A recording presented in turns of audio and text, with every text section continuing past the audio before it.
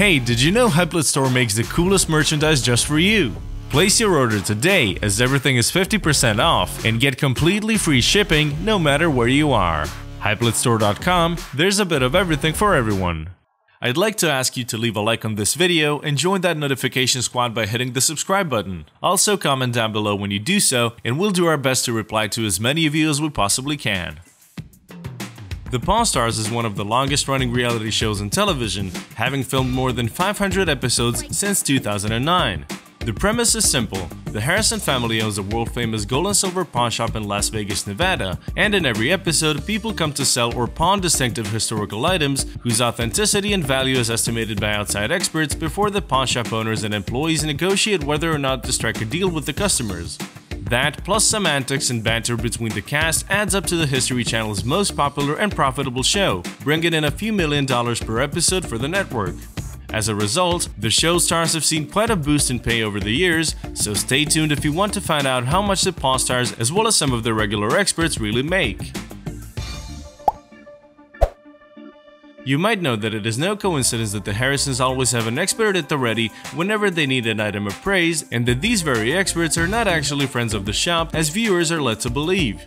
Although the show's main cast have really become friends with most of them over the years, the experts were originally hired onto the show by the producers as well.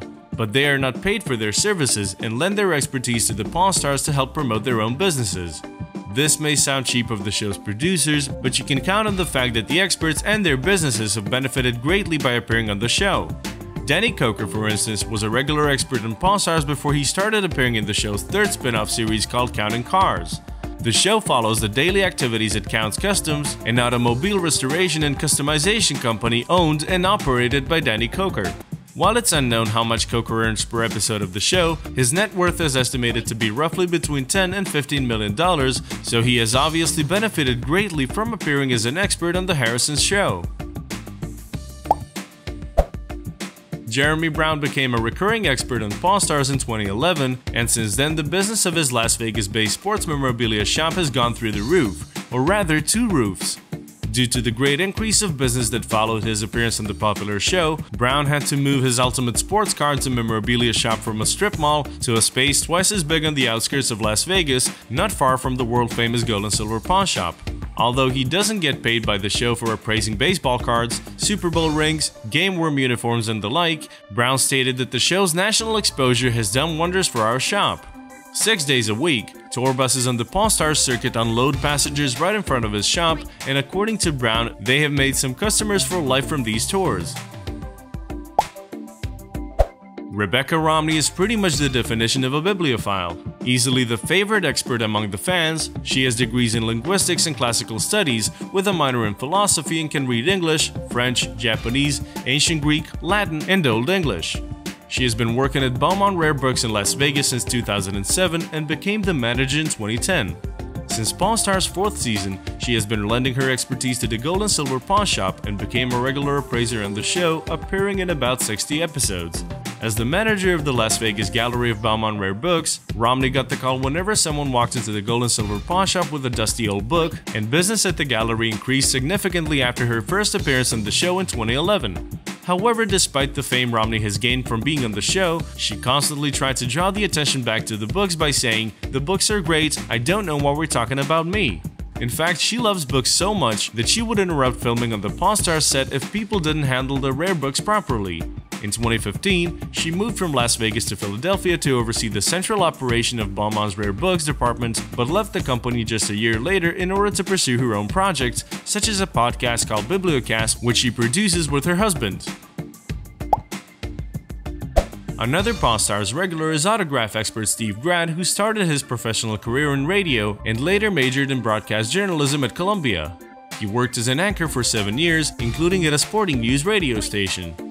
His job increased his interest in sports history and he started collecting autographs, which eventually led him to leave the radio and become a professional appraiser and autograph certifier, who is now one of the top autograph experts in the world.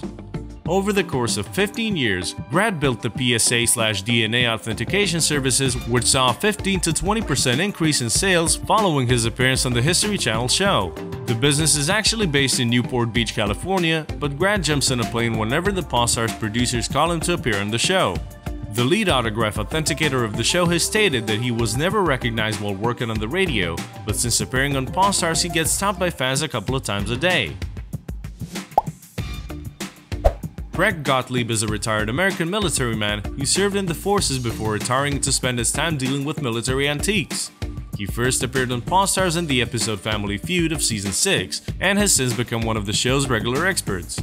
Gottlieb has also made appearances as a military expert advisor in Auction Hunter, a reality TV show by Spike TV and is known to collect military antiques, which he often sells in public auctions. While it is not known how much Gottlieb has earned with his television appearances, it is estimated that his net worth is between 6 and 7 million dollars, so he has clearly made a fortune from lending his expertise to the Pawn Stars. One of the most popular Pawn Stars experts is Mark the Beard of Knowledge Hall Patton, who has also appeared in more episodes of the show than any of the others. He was so fascinated by history and museums as a child that he started creating museum displays in his home for friends and family at the tender age of 8.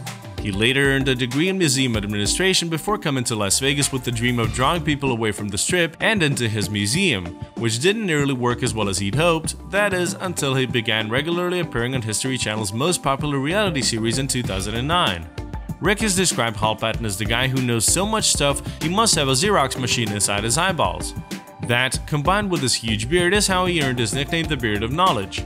Of course, even Hall Patton doesn't know everything, but has stated that he is always ready to perform a detailed research to update his knowledge. Since he started appearing on the show as an expert, the Clark County Museum System in Henderson, Nevada, which he administrates, has seen the attendance increase by 70%, even though it is about a half hour drive from downtown.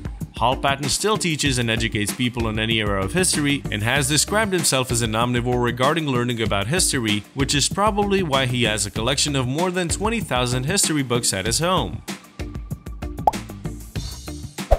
After leaving high school in his junior year, the old man started driving a school bus when he was 14 and has come a long way since.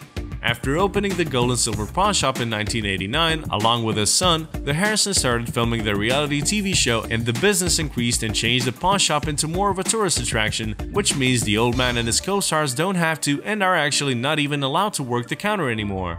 According to various online sources, the old man's son Rick now makes around $50,000 per episode of their reality TV show which debuted in 2009. Considering that there are anywhere between 25 to 50 plus episodes per season, the pawn shop co-owner used to have a salary of over $400,000 per season, which adds up to 6 million in earnings from the TV show alone. Although Harrison Sr.'s appearances in Pawn Stars have become less and less in recent years on account of some health issues, it is estimated that the old man has a net worth of about $5 million.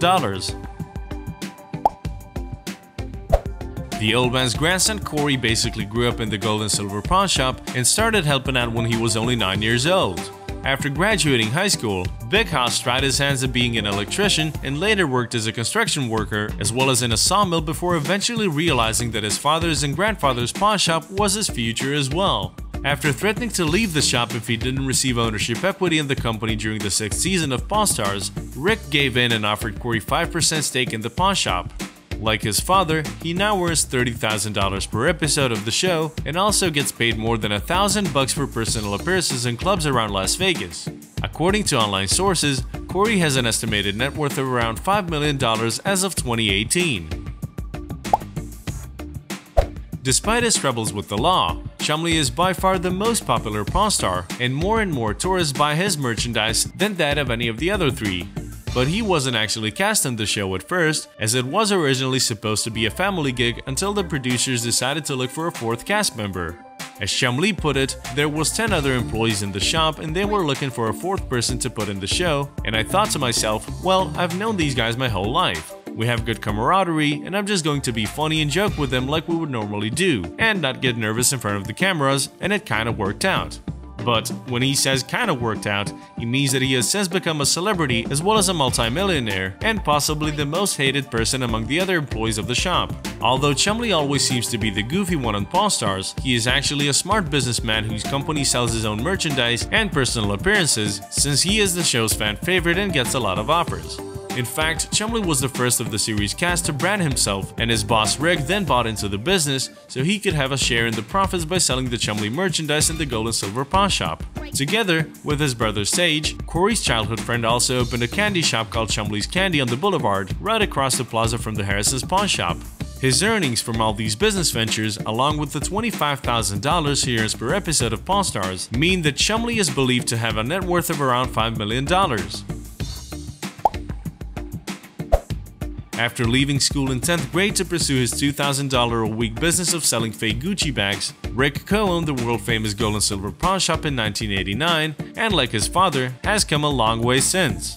By 2005, he and his father started loaning out about $3 million annually, which translated to approximately $700,000 in terms of interest income. After years of unsuccessfully pitching the idea of a reality show about the shop, it was finally picked up by the History Channel in 2009. Two years later, Pawn Stars had the highest ratings on the network and has maintained the position ever since. According to various online sources, Rick now makes around $30,000 per episode of the reality show, as he is the biggest shareholder, and as we already said, considering that there are anywhere from 25 to 50 plus episodes per season, the pawn shop co-owner has a salary of around $1 million per season from the show alone. Seeing how many other things Rick has going on, it is estimated that as of 2018, his net worth is about 8 to 10 million dollars, and it is likely to increase even more over the next few years, as it doesn't look like Pawn Stars will be cancelled anytime soon, and Rick will probably come up with a bunch of new ideas to keep him busy. Thank you so much for watching guys and don't forget to leave a thumbs up and subscribe to our channel if you're new. Also don't forget to turn that post notification bell on so you never miss our uploads. Thank you again for watching and we'll see you next time.